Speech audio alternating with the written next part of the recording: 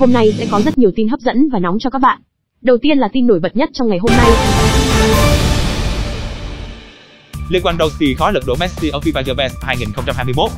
Theo Goal, FIFA xem xét thành tích của các ứng viên từ ngày 8 tháng 10 năm 2020 đến mùng 7 tháng 8 năm 2021, nghĩa là bó hẹp trong mùa giải 2020 trên 21. Thành tích khiêm tốn của Messi tại PSG ở nửa đầu mùa 2021 trên 22 không được tính.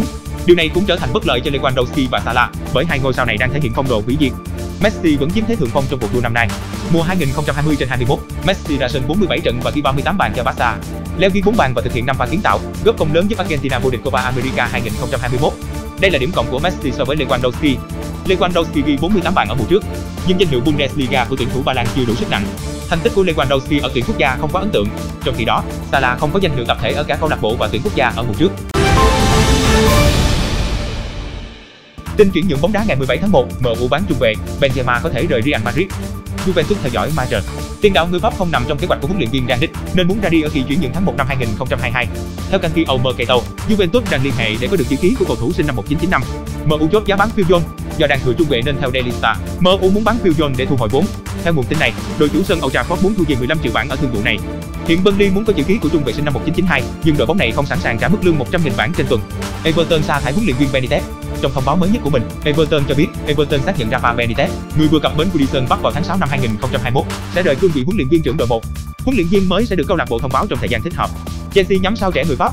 Tờ Phúc Mercato thông tin, Chelsea đang đưa tiền đạo Hugo Ekitai của Reims vào danh sách mua sắm. Cầu thủ sinh năm 2002 hiện cũng được Newcastle quan tâm. Benzema rời Real Madrid nếu Haaland đến. Theo thông tin từ El Nacional, Benzema sẽ rời Real Madrid nếu như đội bóng hoàng gia Tây Ban Nha chiêu mộ thành công tiền đạo Haaland từ Dortmund. Hiện tại, chân sút trẻ người Na Uy được nhiều đội bóng lớn ở châu Âu theo đuổi. Man City theo đuổi Nico Gonzalez. Pictures đưa tin, Man City đang lên kế hoạch chiêu mộ tiền vệ Nico Gonzalez của Barca để tăng cường sức mạnh tuyến giữa của mình. Tuy nhiên, thương vụ này gặp khó khăn khi đội bóng xứ Catalan không có ý định bán người. Dani Van Jevic từ chối Newcastle. Dani Van Jevic đang không tìm được chỗ đứng ở MU, nhưng theo tờ Telegraph Dani, Van Jevic từ chối cơ hội được khoác áo Newcastle ở kỳ chuyển nhượng tháng 1 năm 2022 theo dạng cho mượn. Rooney thay thế Benitez sau 200 ngày. Huyền thoại Man United, cầu thủ cũ của Everton là ứng viên sáng giá thay huấn luyện viên lão làng Rafa Benitez. Huấn luyện viên Rafa Benitez bị lãnh đạo Everton sa thải hôm qua, 16 tháng 1 sau 200 ngày ngồi ghế nóng. Benitez đến với Everton hồi tháng 6 2021. Người thay thế Benitez có thể là Rooney, cựu công thần của Bù đang dẫn dắt derby chơi giải hạng nhì.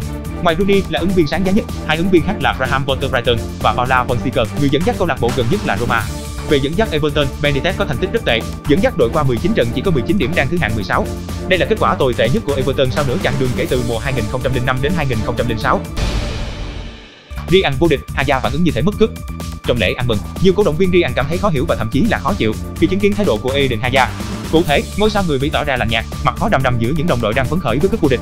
Không ít người đồng cảm với Haya, bởi anh không được huấn luyện viên Ancelotti đoái hoài gì đến trong cả trận chung kết. Dù vậy, thái độ trên cũng là một điểm trừ rất lớn, có thể chấm dứt tương lai của Haya tại sân Bernabeu ngay trong tháng 1 này. VFF thông báo tin vui về thủ môn Việt kiều Philip Nguyễn. Phía Liên đoàn bóng đá Việt Nam đang rất tự tin để có sự phục vụ của ngôi sao đang chơi cho câu lạc bộ Club AC Cò trong thành phần đội tuyển Việt Nam. Do thiếu thẻ cư trú, thủ môn Việt kiều Philip Nguyễn vẫn chưa hoàn tất thủ tục nhập quốc tịch Việt Nam. Nếu trở về Việt Nam và sinh sống trong hết tuần, thành gốc Việt sẽ có thẻ cư trú và đủ điều kiện có quốc tịch Việt Nam và có cơ hội khoác áo đội tuyển quốc gia trong năm 2022. Dự kiến, thủ thành cố bố là người Hải Phòng sẽ lên đường trở về Việt Nam vào tháng 5 tới đây ngay sau khi giải vô địch quốc gia Cộng hòa Séc khép lại và các chuyến bay quốc tế tới Việt Nam chính thức được mở lại.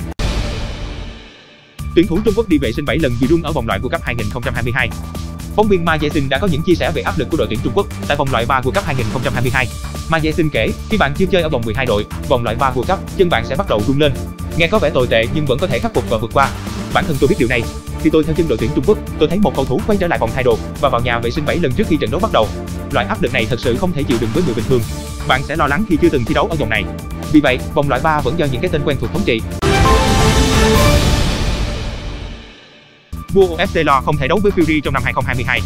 Trả lời phỏng vấn trên trang Transtat, Francis Ngannou thừa nhận trận đấu giữa anh và Tyson Fury khó có thể diễn ra ngay trong năm 2022 vì lịch trình bận rộn của cả hai võ sĩ. Thậm chí, nhà vô địch UFC hạng nặng cho rằng trận đấu với nhà vô địch boxing hạng nặng của WBC chỉ có thể tổ chức vào năm 2023. Osaka duy trì thành tích bất bại ở vòng 1 Australian Open. Naomi Osaka đã có sự khởi đầu đầy mỹ mãn tại nội dung đơn nữ Australian Open bằng trận thắng đối thủ người Colombia, Camila Osorio. Chiến thắng này cũng giúp tay vợt người Nhật Bản duy trì thành tích bất bại ở các trận đấu thuộc vòng 1 Australian Open kể từ khi lên chơi chuyên nghiệp 2013.